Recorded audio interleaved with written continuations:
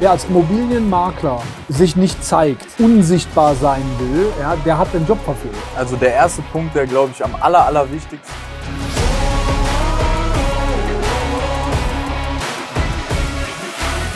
Was musst du tun, um als Immobilienmakler-Experte wahrgenommen zu werden? Leon, was sind deine Erfahrungen? Was stellst du immer wieder fest, wenn es um das Thema Experte geht? Also der erste Punkt, der glaube ich am aller, allerwichtigsten ist, ist, dass du Vertrauen vermittelst in dem, was du tust. Also Proof, wenn du so willst, dass ein hoher Trust in deine Dienstleistung, in deinen ähm, in dein Vorhaben äh, vorhanden ist äh, für den Kunden. Also äh, wir sollten zuallererst noch mal definieren, was denn überhaupt ein Experte und was ist, was ja viele draußen auch sagen, ist so, ich bin Profi, ja.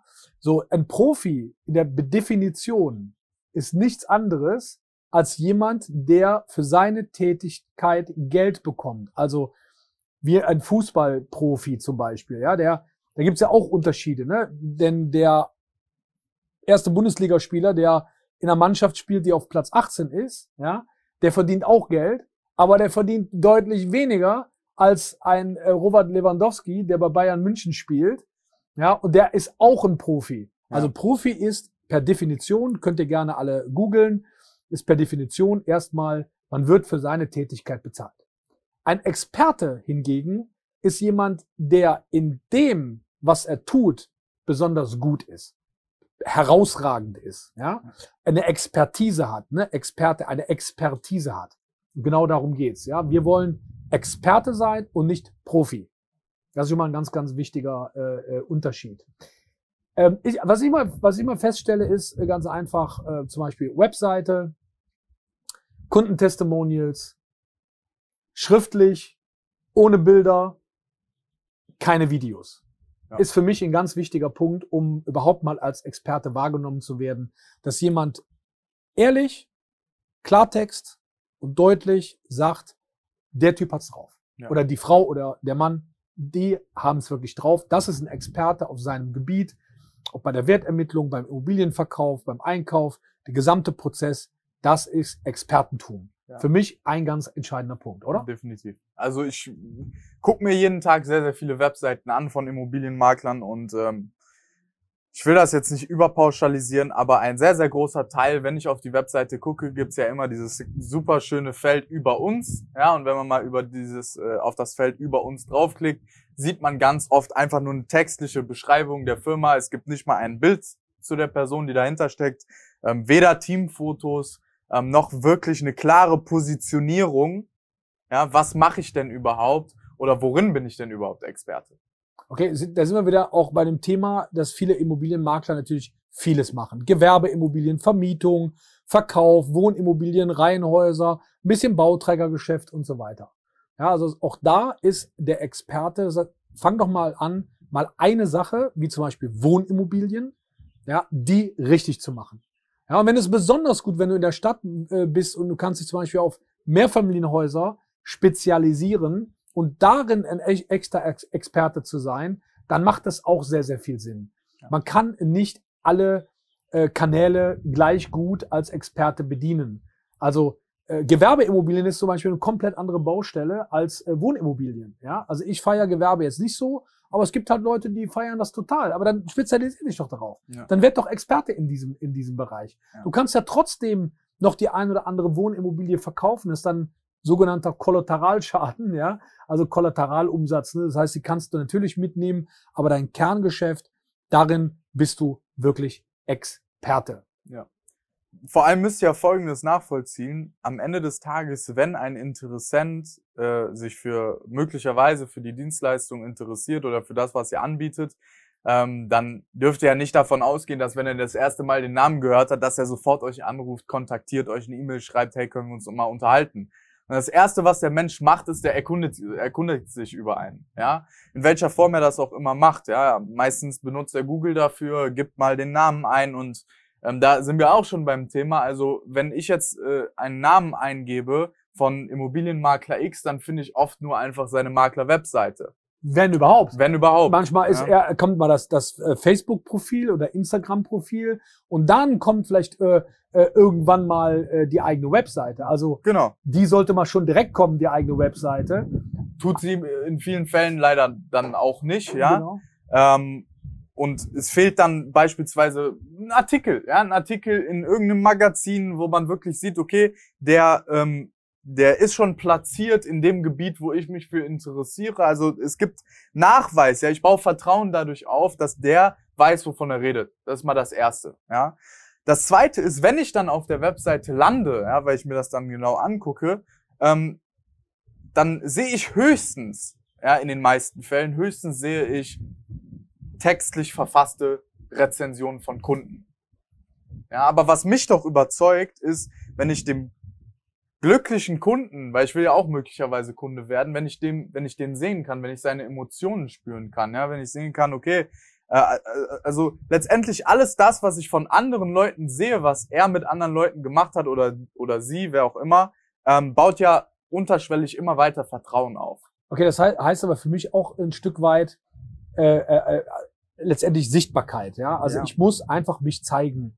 Ja, also Immobilienmakler, wer als Immobilienmakler sich nicht zeigt, ja, also sozusagen unsichtbar sein will, ja, der hat den Job verfehlt. Ja. Ja, also als sichtbar, also als Makler muss man sichtbar sein. Ja. Das Team aber genauso. Ja, also wenn du ein Team hast, ja, dass die, dass sie sich zeigen, dass gute Bilder da sind. Übrigens auch ein ganz wichtiger Punkt, wenn ich nach jemandem suche, ja, äh, finde ich ein Bild zu der Person. Ja, also es gibt ja, nur um das mal kurz zu erklären, wenn ich äh, über, über jemanden oder nach jemandem google, ja, dann finde ich natürlich erstmal ähm, die entsprechenden Themen wie äh, Facebook, Instagram, äh, Webseite etc.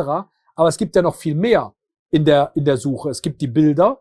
Ja, also das heißt, finde ich auch direkt aktuelle Bilder zu der Person oder sind das irgendwie äh, fünf, acht oder zehn Jahre alte Fotos oder gibt's überhaupt gar keine Fotos? Ja. Ganz einfacher Trick. Fang doch mal an, die Bilder auf deiner Webseite schon mal einfach zu benennen. Ja. Ja, wer du bist, ja, also zum Beispiel äh, Heinz Bosbach Immobilienmakler, ja, oder äh, keine Ahnung was, ja. So, dann gibt, kommt ja die nächste Rubrik, ist Videos. Auch hier wieder, ja, dass die Videos vernünftig und korrekt benannt sind und man die auch wiederfinden kann unter der Person, unter dem Namen der Person, ja. Sonst macht es ja einfach keinen Sinn, Ja. ja.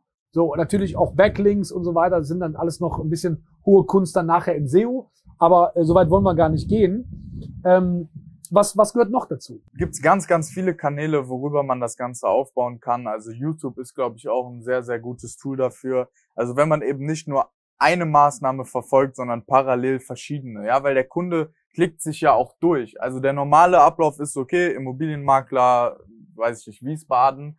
Und dann kommt erstmal Webseiten, kommen erstmal Google-Einträge von Immobilienmaklern. Dann suche ich mir einen aus, dann gucke ich mir den an, äh, was finde ich über den, dann google ich vielleicht seinen Namen, ja, unter dem Namen kommt dann vielleicht äh, im besten Fall ein Experteninterview in irgendeinem Magazin, in einer Zeitschrift. Ähm, dann gucke ich weiter, dann sehe ich vielleicht YouTube-Videos von dem verlinkt, ja, wo der Content bringt, also wo der mich Ja. überzeugt, dadurch, also dass er Wissen zeigt, ja, dass er zeigt, was er, Ja. was Ja. er weiß. Ja. Äh, ich denke, das ist, äh, ist, also ist ein extrem unterschätztes äh, Ding, ähm, das richtig aufzubauen. Dann haben wir noch das Thema Google My Business, ist genauso wieder wichtig, weil auch das ist ein Thema, bevor man überhaupt auf die Webseite kommt, wird ja der Google My Business Eintrag angezeigt. Ja, und auch da wieder Google-Rezensionen. Ja, es ist natürlich auch schön, wenn man Trustpilot, Proven Expert, das sind alles so, ich sag mal, Tools, ja, äh, äh, Bewertungstools. Aber das Thema Google-Bewertungen ist auch eben häufig sehr unterschätzt, weil 100%. Google halt einfach diese Macht, diese Kraft hat, diese Power auch hat letztendlich und auch den Google My Business ähm, Account so zu pflegen, dass am Ende des Tages da auch eben schon wieder Artikel drin stehen, dass die Produkte beschrieben sind, also die Dienstleistungen beschrieben sind, dass auch da regelmäßig Bilder eingestellt werden, auch mal ein Video hochgeladen wird, ja. Also das, das ist ja auch kein, kein statisches äh, äh, Tool, Google My Business, sondern auch ein dynamisches Tool, was gepflegt werden will. 100 Prozent. Also die gute Botschaft ist ja, dass es äh, heutzutage in, in dem Bereich als Immobilienmakler jetzt gar nicht so schwer ist, sich als Experte zu positionieren, weil es ja die meisten anderen in deiner Region noch nicht verstanden haben. Du hast gerade schon angesprochen, wir leben in einem Vergleichszeitalter. Ja, wir leben in einem in einer Zeit, wo man oder wo die Leute mit, also recherchieren, wer ist denn jetzt der Beste für ja. mein Vorhaben. Ja, also es wird verglichen. Ja, warum gibt's denn irgendwie Reisewebseiten, Preisvergleich und so weiter? Ja, weil, weil die Leute danach suchen. Die genau. Leute suchen danach das beste Angebot zu finden letztendlich. Und ähm, für wen entscheiden die sich denn? Natürlich für den, der am Ende mir am besten rüberbringt, dass ich weiß, was ich tue. Ja. So, und wenn ich das Gefühl dem Kunden vermitteln kann, dass ich weiß, was ich tue, auf allen Ebenen, ja, dann ähm, sind die Chancen hoch, dass er mir den Auftrag gibt und nicht den anderen. Exakt. Also im Endeffekt, das ist, glaube ich, auch äh, wieder ein super Schlusswort. Ja. ja. der, der Punkt, liebe Leute da draußen, ist immer wieder dasselbe. Als Experte wahrgenommen zu werden, bedeutet sichtbar zu werden in dem, was du tust. Wir sind automatisch wieder bei deiner Leistung, weil deine Leistung ist das, was immer zentral ist. Lieferst du ab, lieferst du Wow-Faktor ab und ich sage immer wieder Wow-Faktor oder Mülleimer. Wenn du das schon mal hast, dann hast du den ersten Punkt. Der zweite Punkt ist, als Experte wahrgenommen zu werden, das bestätigen dir deine Kunden. Wenn deine Kunden über dich sprechen, also lass deine Kunden sprechen.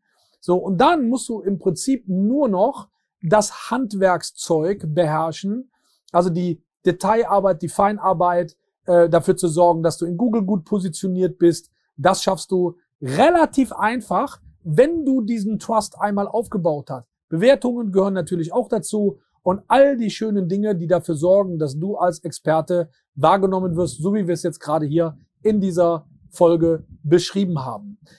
Wenn du genau wissen willst, wie das alles funktioniert, wenn du darüber hinaus eben nicht nur einfach jetzt mal unseren Folgen hier folgen möchtest, sondern in die Tiefe reingehen willst und das nächste Level erreichen willst, dann klick jetzt hier unter diesem Video und buche deine kostenfreie Coaching-Session, in der wir mit dir gemeinsam genau analysieren, wo stehst du jetzt und wo willst du vor allen Dingen hin und wie können wir dir konkret dabei helfen.